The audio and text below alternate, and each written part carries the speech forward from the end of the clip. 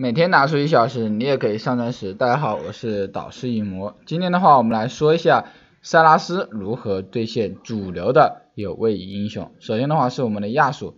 打亚索的注意事项，首先是打亚索一般要带电刑加引燃，是吧？就打打那种如果你带余震完全对他造成不了威胁的英雄，你就要带电刑。但除非如果你完全没有想跟他打，或者那个英雄本身就不太强势，你也可以选择带余震。好，这个首先是打亚索的话，首先第一点是要先带电刑加引燃，第二点就是 W 技能或者 E 技能 CD 的时候站位尽量靠后，不要去跟亚索换血，因为你 W 技能和 E 技能 CD 的时候，亚索都可以用 AQ 去消耗你，而你只能用 Q 技能 Q 技能打他，但是你要知道你 Q 完之后你 A 不到他，因为亚索的 Q 是。三百还是三百五的一个伤害范围，但你的平 A 的话肯定是没有那么远的，所以说你在没有 W 的时候，你只要补兵都有可能吃到；没有 W 或者没有 E 的时候，你只要补兵都会吃到亚索的 Q 技能。所以说我们在这两个技能 CD 的时候要走位尽量靠后一点。然后第三点就是有机会杀亚索的时候，有机会杀亚索的一定要记得提前骗出风墙，或者说呃我们前面没有骗出风墙。那亚索有风墙的时候，我们怎么杀他呢？那就先用一一段骗出亚索风墙之后，再去用一二段就击杀。就是说，击杀的时候，亚索不交风墙，我们就不交一二段，因为你的一二段抬手非常明显是百分之百容易是百分之百会被风墙挡掉的，所以我们往往都是先从先用一一段上去，给亚索一种我们要放一二段的一个形态，然后他把风墙放了之后，我们越过风墙。再去交一二段命中他，好，这是他一个打亚索的一个注意事项。好，再来说一下亚索打亚索的主要思路，首先是六级之前用先用 Q 技能破盾耗耗血破盾，然后亚索如果主动 E 上来，那么则那就用 A E A 重置普攻去反打，但不要主动一二段主动上去找亚索的，就是一个意思就是，如果你直接 E 上去跟亚索打。你换血是不会赚的，因为亚索可以会利用他的征服者配合上 Q 技能一直追着你打，然后等你想要逃跑的时候，他又会一小兵继续追着你打。因为塞拉斯的爆发一套前期的一套爆发是秒不掉亚索的，你只要秒不掉，那亚索就会有可能就会一直追着你跟着你强 A 啊，但你肯定 A 不过他。说但不要用一二段主动上去找亚索的，而是留着亚索等亚索。二段突进的时候，再用一二段配合反打，就是 A E A 重置普攻之后，等亚索一上来，我们再去交一二段。如果亚索不不一上来，我们就不要一过去跟他打，然后再配合上 W 技能去反打，好吧？就是打亚打这种这种有位移的英雄，我一般都推荐塞拉斯是以打反手为主的，懂吧？就我们塞拉斯打这种有位移的英雄都不能主动的先手，因为你只要主动的先手，那就。因为他有位移，很容易用他的位移把你的一技能躲掉，一旦躲掉，你就会无限的被陷入一个被反打的时间，或者说在你一技能 CD 的时候都是要被挨打的。好，那我们再来说六级，六级之后，刚才说的是六级之前，我们现在说一下六级之后。六级之后的话，就基本上是亚索推一波，我们推一波，互相发育就行了。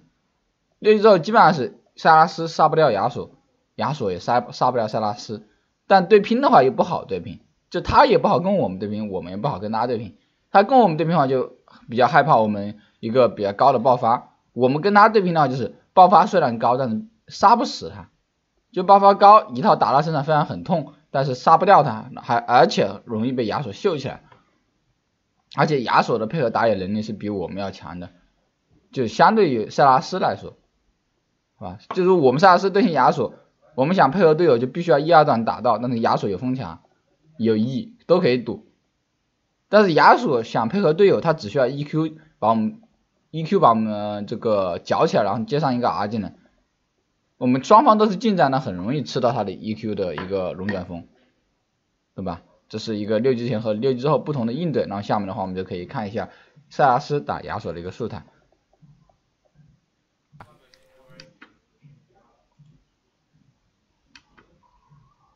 好，首先是开局。开局的话，同样也是要记得把这个在蓝色方时，同样也记得把这个眼做好，对吧？一分二十秒的时候把眼做好。然后一级的话，一般推荐大家去学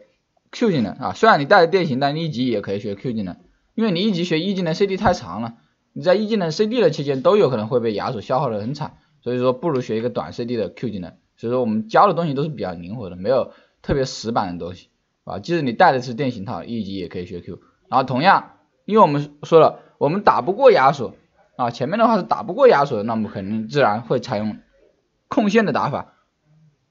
好吧？就是打这种有位移的英雄，总有两个总体要点，第一点就是以控线发育为主，第二是就是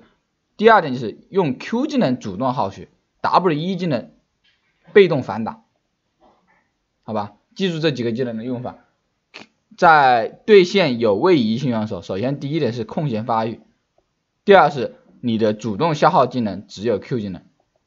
，W 技能和 E 技能都是你等他位移上来之后用来反打的技能。好，我们再来看一看，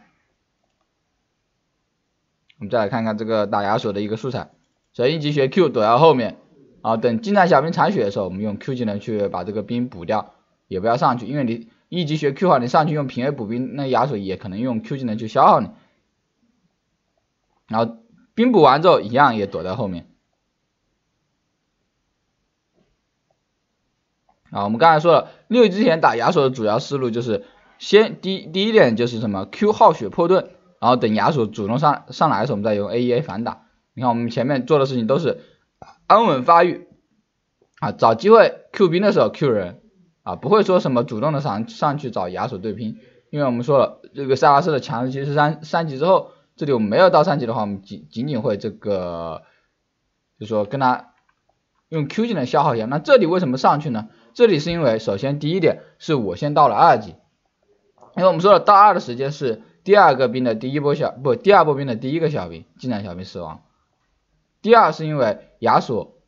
刚才被我们中单被我们的打野打了一套，他的血量比我低，所以这里我想上去主动跟他换一波血，而且这波对面的小兵比较少，所以这波是主动一上去是这个原因。我们只说了多少主要的思路，但具体的情况是可以根据就就根据具体的情况去变化我们的一个打法的。虽然确实是要空闲发育，但这波有机会你为什么不上去，对不对？就比如说我说了空闲发育，有很多人会觉得。哎老师说了，塞拉斯打亚索得空间发育，只能用 Q 技能远远的去消耗亚索的盾和亚索的血量，不能一不能一技能永远又来留来留来反打，然后你看就这种情况他就不会上，因为这里亚索才一级，我们两级了，我们就应该上啊，根据实际情况可以变动的，那只不过这里亚索因为带的是一个迅捷步伐啊，跑得太快了，一技能没有命中。那么这里的话，一技能没有命中的时间，赶快后退啊！因为你可以看到我们打这把的时候，八十的拼非常非常高啊！如果刚才不是八十的拼，我感觉就中了啊，一技能就中了啊！这里也去直接打起来，我们就立马过去支援。这也是我们说的中单这个位置，它要求的就是对线的和对线的安稳发育，然后找到机会快速的一个支援啊！中路的支援速度一定要放的非常非常快啊！玩中单的支援速度是你的一个一大基本功。好吧，不要玩，老是玩中单就只想着对线。如果你只想着对线，那可以去玩上单。上单是一个只对线的位置，中单的话是必须要支援和游走的一个位置。好，这里也是一样。如果这里你想一下，当时我们以前给大家放过一个素材什么，就也大概也是这个角度，但对面是吸血鬼，是不是？我应对吸血鬼的那一把，我就直接一上去跟他打。但这里是亚索，所以我们这里可以看到，我们并没有直接这个上去跟他打。对吧？并没有直接跟他打，而是先把这个兵补到，先把这个炮车兵补到，然后等亚索站位失误了之后，因为上次是什么？上次是吸血鬼是蓝色方，我塞拉斯是红色方，然后这个站位我上去跟他打了。但现在是什么？亚索他是个红色方，结果他站在我的兵线里面，那我这样我才会主动一上去跟他打。而且还有一点什么呢？还有一点就是我们一样说的下套。什么叫下套？因为这个炮这兵补完之后，我就会到他三级。然后现在亚索才两级，虽然他补完这个炮兵也到三了，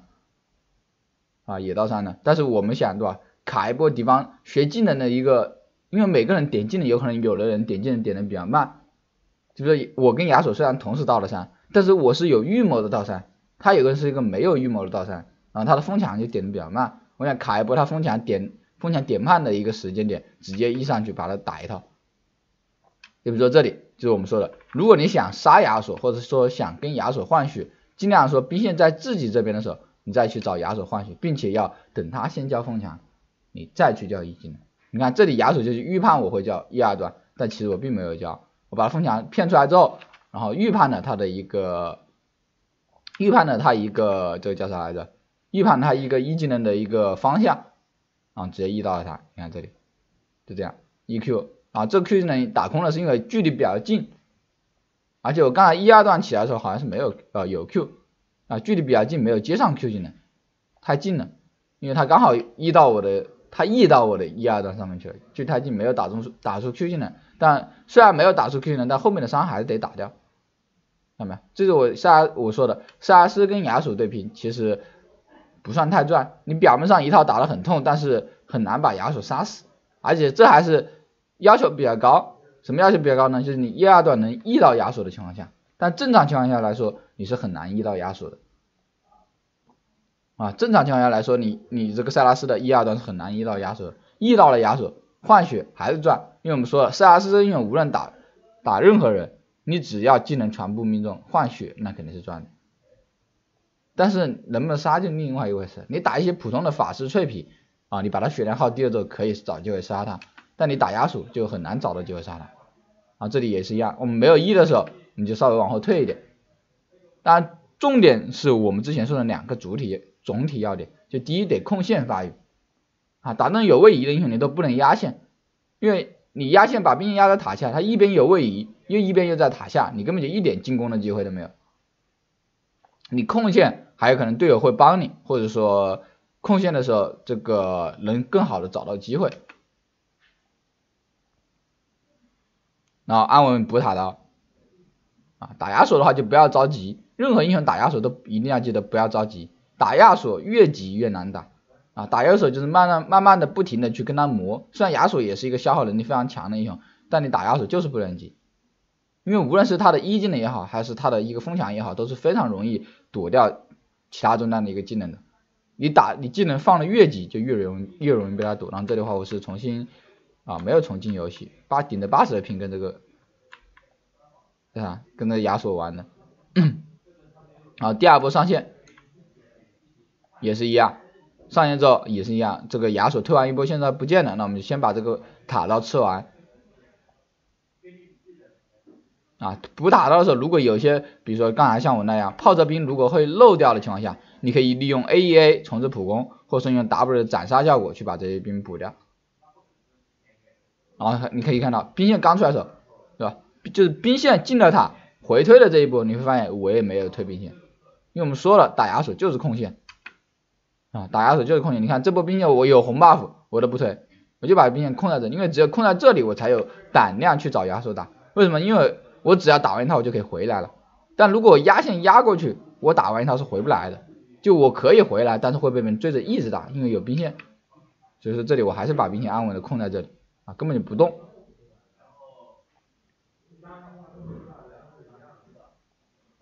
然后就开始我们后面说的一个耗血了，五级左右，就是说六级之前怎么打？首先思路是 Q 技能磨血，你看这里就用 Q 技能磨血，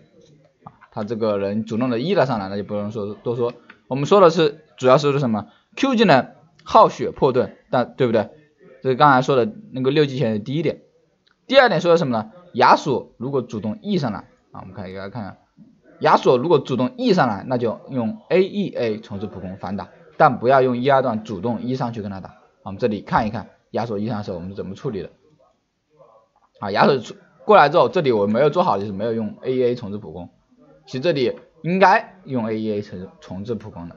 因为我 A E A 的话就可以很快的打出电刑，但我直接 E 上去，其实说实话细节做的不够到位啊，不够到位。然后这里也是一样。他交了风墙，因为没有什么特别好的 E 到亚索的角度，因为亚索一直躲在风墙后面，没办法 E 到，所以我们就先交 W 技能和 Q 技能，好吧？塞拉斯被亚只能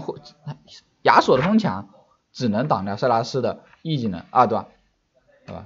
你看这里我打不到他，我就一直干其他的事情，然后等到能打到他的时候再去交一个 EQ。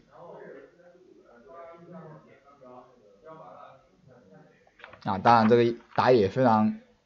有非常有有细节啊，闪现躲风直接给他秒掉了。但这波就算打野不来，那这波我们换血肯定也是百分之百赚的。至于能不能杀，那就看敌方打野会不会保这个亚索啊。我们追的时候，如果敌方亚索、敌方打野过来了，我们肯定就直接走了。而且这把对面还是打野还是个老鼠，老鼠这个英雄是很喜欢抓中单的，你只要推线，他就会抓你。好吧，我们再仔细的看一下刚才这波换血怎么换的，就如果亚索主动 E 上来，我们怎么换？首先一开始应该是 A E A 重置普攻，然后亚索如果躲在风墙里面的时候，你就用 W 或者 W A 或者 Q A 去打亚索，好吧，一定要记得亚索在风墙里面站着的时候，你们不要慌，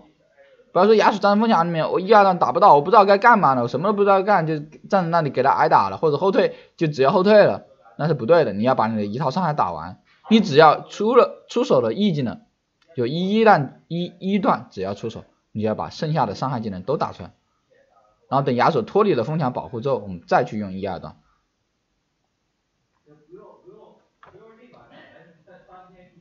然后，就要不刚好对面打野好像也在上面，因为刚刚这里有个毒针，就老鼠的 W，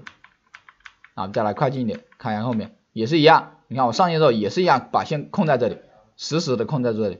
然后打亚索也是一样，他不如果不一上来，我就不会主动一上去啊。你看，发现很少有我主动一上去的情况。你看 Q 技能魔血破盾，然后这里我们打野给我们发了信号，对不对？这是我们控线的好处。一定要记得，你们为什么有些时候打野不愿意帮你们？其实很多时候是为什么呢？是因为你们老压线，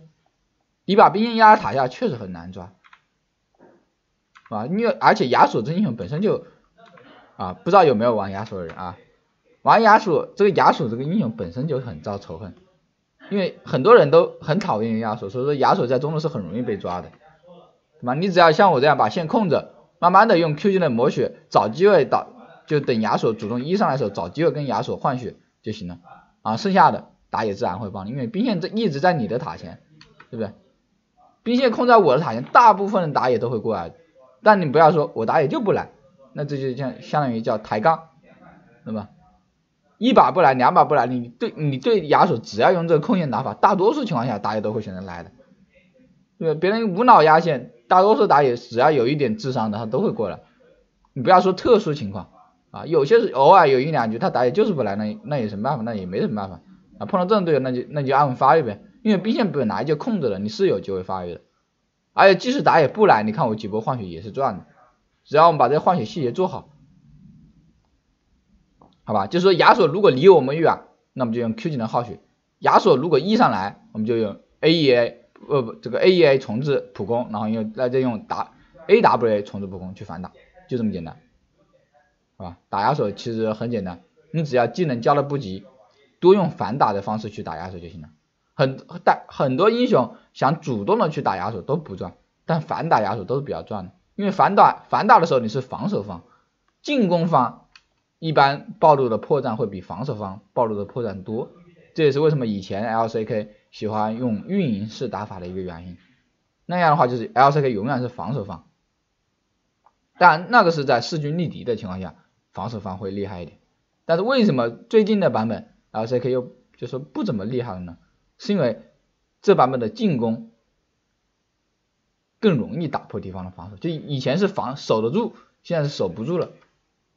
但一般来说，防守方肯定是一般要占一点点优势的，就跟你古代攻城池一样，对不对？别人攻你攻城池的时候，别人有一堵墙，别人从上打往上往下打，你很难破掉敌方城池，别人就是有优势，对吧？所以说我们这个就是要大家要了解的一点，就是说打亚索就是打防守，打反击，啊，他上来他不上来，我们就永远用 Q 技能补兵破这个打人耗人补兵，他上来我们就用。A E A A W A 重置普攻反打，然后一二段就交给亚索封墙之后，或者说在亚索没有办法走位，我们能百分之百能 E 到他的时候再 E。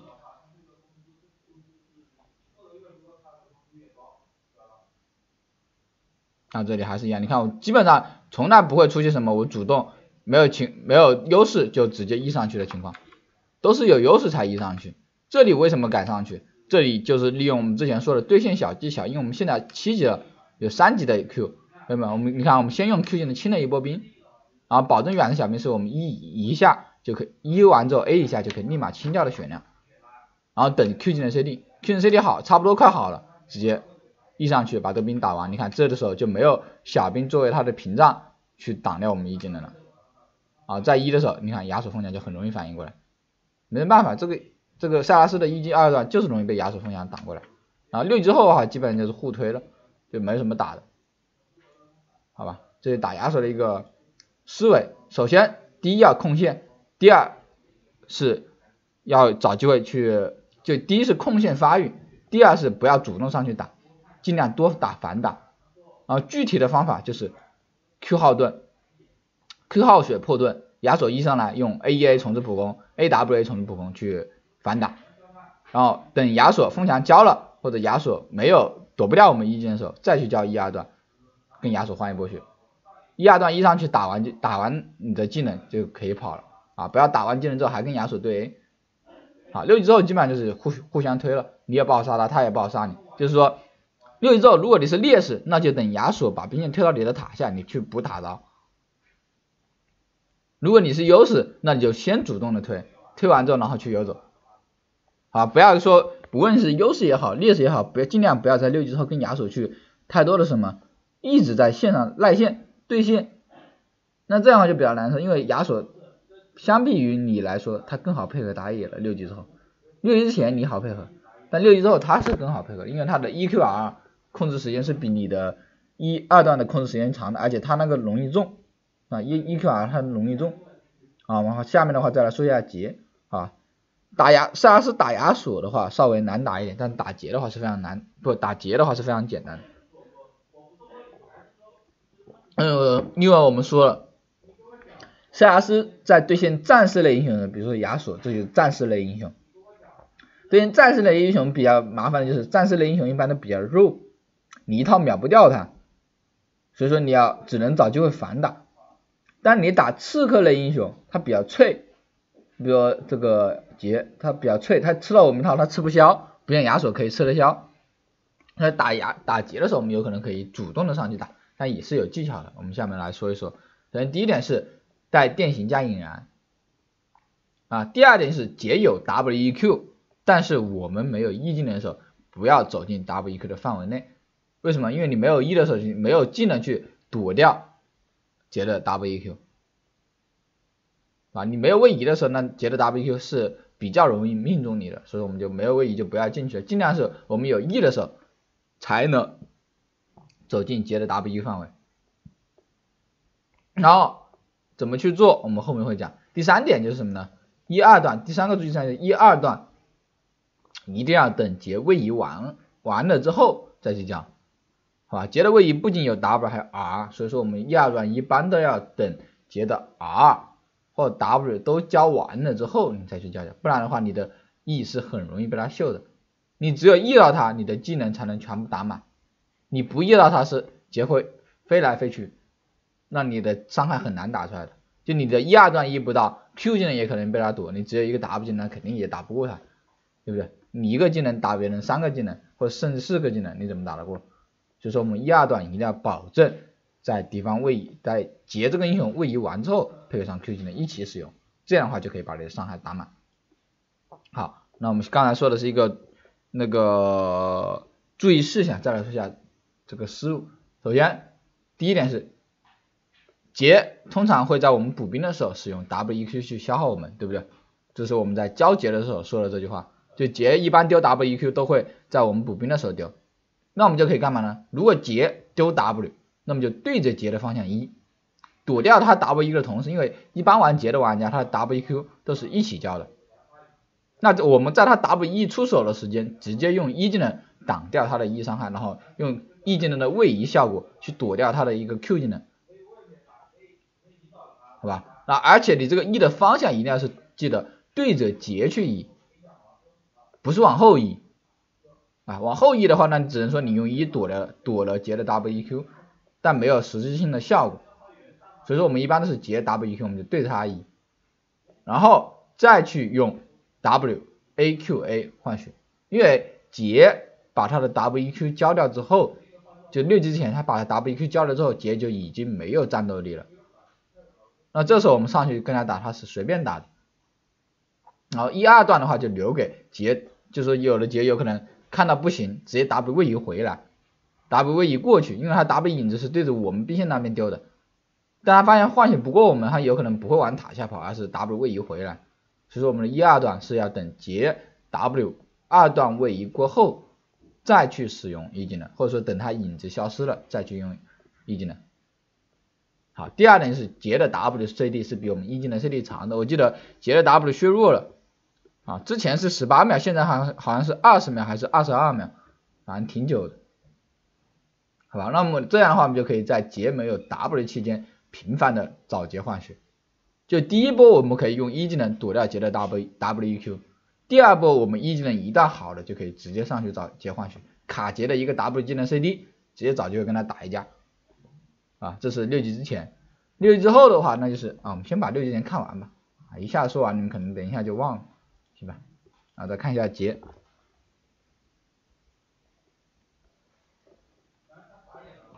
啊，首先也是开局座位，啊，这里的话是一个前期我崩盘的一个塞拉斯，一级一级团我送了，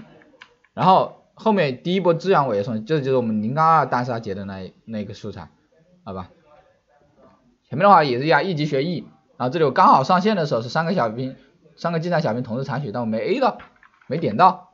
啊，这几天公司网络老是就是说不太稳定，所以说老是一上去有一点延迟，A 不出来。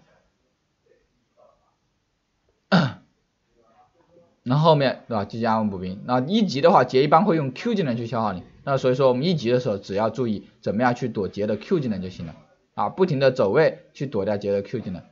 啊，这个怎么走位？就是你你个人感觉杰会往哪边丢 Q，你就不要往那个地方走，好吧？走位的前提一定是你能猜到敌方会往哪哪里丢技能，你才能通过走位丢他躲他技能。走位没有规律，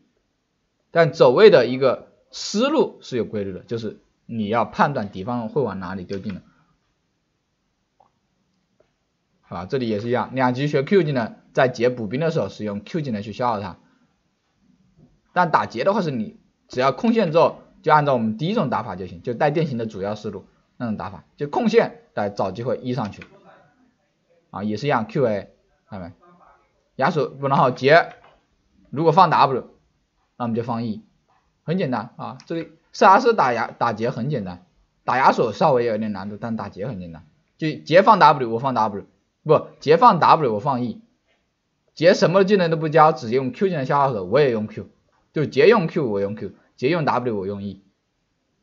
然后打我的 W 什么时候丢呢？那就对拼的时候丢，或者说跟他在他补兵的时候 AWA 换血用，换血用，你看非常简单。你看他他本来是想的很美好，我们两个同样都是两级，他想的美很美好，就是我 Q 过去 A 他的时候，他直接用 WQ，就 W 可以放出两段 Q，配合上一刀平 A 打出电型，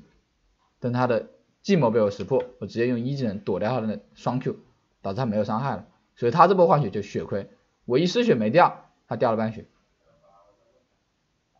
你看我走位的前提永远是在判断这个杰怎么去丢 Q，然后杰想补兵的时候，啊刚才杰想补这个近战小兵的时候，啊我们就用 Q 技能去消耗他。那这里打野给我们发现发了一个消息，就是我们要去支援，但为什么没有第一时间去？啊，这个要记住，为什么我们没有第一时间去？是因为我想补到三再去，因为两级的塞拉斯过去太弱了，啊，两级的塞拉斯没有 W 技能，首先是没有斩杀效果，第二的话活血能力也比较弱，而且对面打野是个青钢影，还是个比较猛的打野，所以我第一时间没有急着去，想先到三级再去，但这打野一直在给我点心啊，我好像记得我好像是没有到三级就直接去了，因为对面打野太过分了，把我们把我们打野压在高地这里，啊，当然这里如果我们上单也过来。那是打得过的，但上单没有过来，就是这上单的资源意资源的意识比较弱，但我资源意识比较强，但其实说实话，这波我确实该过来，但是也没有想到操作出现了失误，就是对面的对面青钢影用闪现把我一二段躲掉了，不然的话我们还是打得过的，这也是我们说的塞拉斯一个弱点，而且皇子来的也比较慢，绕了一圈，没有直接跟过来。那这里如果我一到他，再配合上皇子的 EQ，肯定能直接把七杠影秒掉。秒掉之后我就直接闪现躲掉杰的伤害就行了。但是很遗憾，一二段被他躲了，那这样的话我就死掉了。是吧？所以说有些时候资源肯定是有风险的，不要对吧？不要老是也问我什么，老师我资源一波我崩了怎么办？我游走一波我崩了怎么办？那有些时候你你不可能每波资源每波游走都拿到优势啊，对不对？那每波资源每波游走都拿到优势，那边所有人都爱游走，所有人都爱资源了，因为我每波过去都能拿到东西，那我可肯定要游走啊，对吧？我每波游走都拿得到头，那谁不愿意游走？但有些时候就是有这种失误的呀，对不对？那你有总对吧？现实和理想肯定是有差距的啊，不能说我我每波我失误了，我不游了。但你在这局一局游戏内，就比如这波打崩了，你可以下面就不要再继续乱支援了。但是又进入到一局新的游戏之后，你还还是该支援的时候再支援，因为这波我通过这波支援我知道。大概我们两个人很难打对面两两两个中野，因为对面中野是杰加青钢影，我们这边塞拉斯打加皇子，虽然两个都两个组合都很猛，但是好像我们是没有那么好打对面的，因为对面太灵活了，对吧？那碰到这种情况，我们就尽量少游走少支援，就主要打一个对线。啊，一局游戏内你可以改变思路，但是如果是又开了一局新的游戏，那该往中单该支援还是支援，就比如这把我已经零杠二了，对不对？当我零杠二的时候，我肯定想的是，我先怎么样保证好自己的发育，因为我们一直强调的就是，无论是教你们打野，还是教你们中单，我都说了，先把事自己的事情做好，先把对位的那个人压住，就你玩打野，你就把对面的打野压住，你玩中单就优先想着怎么样去压住对面中单，但第一步是先保证好自己的发育，第二步再是想着怎么压别人中单，第三步才是怎么样去帮队友。你像我这里零杠二了。我都是一个零杠二的废物英雄，就是已经废物了，是个废物了，还不想着怎么样把自己的发育补起来，还想着去搞帮队友呢，那肯定不会了，先把自己变得强大，对不对？那你看我这里就队友打起来，我比如说刚才下午打起来我就没有第一时间就过去，先把自己的兵补好啊，补一下自己的发育，我都零杠二了，一团送了一次，刚才自然又死了一次，这已经像算是大家眼目眼中的天崩开局了。啊，天崩地裂的开局，零二开局已经游戏给大家有的有人估计都不想玩了，但我觉得萨因为萨拉斯打劫是优势，所以所以说我觉得可以玩，好吧？然后这里我们也是出现了一套一波经典的换血，就是我们说的劫如果丢 W，那么就对着劫的方向移，躲掉他 W Q 的同时用 W A Q A 换血，好，这波我们给大家看一看，这不就是我们补兵的时候截上线了，好，截上线之后仗着他装备优势。只想直接 W E Q 消耗我，你看他 W 的时候我就直接，对不对？在他 W E Q 的时候我就直接 E 上去，然后 W A，但这里刚好被小兵卡了一个位，没有这个 W A 的距离，但是思路永远是这样的，是吧？具体情况可以变，但思路永远都是这样的，就是劫对你丢 W E Q，你就要对着劫的方向移，而不要往后移，因为往后移只仅仅相当于你 E 躲掉了劫的 WQ，但并没有办法带对杰造成伤害。你往杰的方向移，你才能对他造成伤害。然后没有对吧？杰没有 W，我们没有 E，那这个时候我们都可以嚣张一点。但杰有 W，我们有 E，那么也可以操作一下。但杰有 W，我们没有 E，那得就得后退一点。你看这里杰的能量不多，所以我也可以大胆的上去，想着怎么去用 QA 去消耗它。啊，这里对吧？因为劫虽然这时候有 W 了，但它没有能量，它能量一直很低，我们就不用怕它。然后再看第三波也是一样经典的杀人，也是这个劫交 W E Q 我直接对着他一，啊，其实无论是妖姬也好还是劫也好，比他这两个英雄都比较讨厌他们丢 W 的时候别人往他 W 回去的方向这个一位移，这样他到的位移就是说 W 过去也好，W 不过去也不好，反正怎么样都陷入一个两难的境界，啊，应该还是还得。兑现个半半分钟左右才是下一步击杀，然后这里也是一样，他叫 W E Q，但是这里因为对面打野过来了，所以我们只能走回去，没办法直接 E 上去，然后继续开始对线，啊，这时候兵线比较靠前，就是我们说的塞拉斯在对线的过程中，只要兵线比较靠前，你就不能乱 E 上去跟别人耗血，啊，这就是我们说打位移英雄你就。更多的是用 Q 技能主动耗血，有击杀机会或者说有换血机会的时候才移上去，没有换血机会，不要说我有意，我就老是移上去跟别人打，这是不对的，是吧？一技能是塞拉斯一个发起进攻技能，一定要是有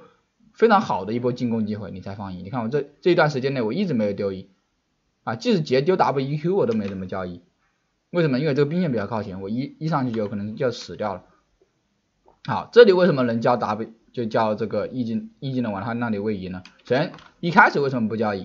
啊，一开始为什么不交？我们先解析一下这波的思路，看看杰的能量，杰丢 WEQ 的话是要一百六十五点还是一百六十点以上的一个能量才能交出 WEQ。所有的技能，那我们看一下杰的能量，现在杰现在能量是刚刚半管多一点点，那是不够的啊。杰的能量条是两百点，一半就是一百，它这里一半多一点点，顶多就是一百二到一百三。但我们刚才说了，它的丢能量的丢技能的一个能量条是要一百六十点能量以上，所以这里我们不怕的原因，就没有交易的原因，是因为杰的能量根本就不够交一套 WEQ。好，所以他交 W 的时候，我根本没必要躲。因为它不够能能量 Q，然后等到看到没有？等到这个杰想要丢 Q 的时候，啊，它有能量就因为我对杰了解比较深。当杰的能量条有能量去放 Q 的时候，我才 E 上去的，看到没有？对吧？杰交 Q 的一瞬间我用 E 了，因为我说实话，我对我玩的杰玩的场数还是比较多的，我知道杰大概多少点能量可以去交交这个 Q 技能。那在他把 W 一交了。Q 技能交了能量见底的时候，我一上去了，你看这时候杰就只能挨打，然后等杰位移回来之后，再用 QA，就是 AQA 把杰杀掉了。啊，零杠二，记住这我是一个零杠二的塞拉斯，所以塞拉斯打劫还算是比较好打的，啊，只要你敢打，但如果你不敢打就很难打劫，就比如说每次劫 WEQ 你，你都是一后退，那这种你就很难打劫，因为我们说了。防守的那一方无一味的防守肯定是不行的。啊，一定要记得防守配合上反击。啊，不是单纯的无脑的挨打，是通过防守防守去发现敌方的破绽，然后反击，反击是最重要的。啊，不要只会挨打。啊，这个不挨打的方法就是杰只要丢 W 区，我们就我们就对着杰 E，这样的话杰 W 回来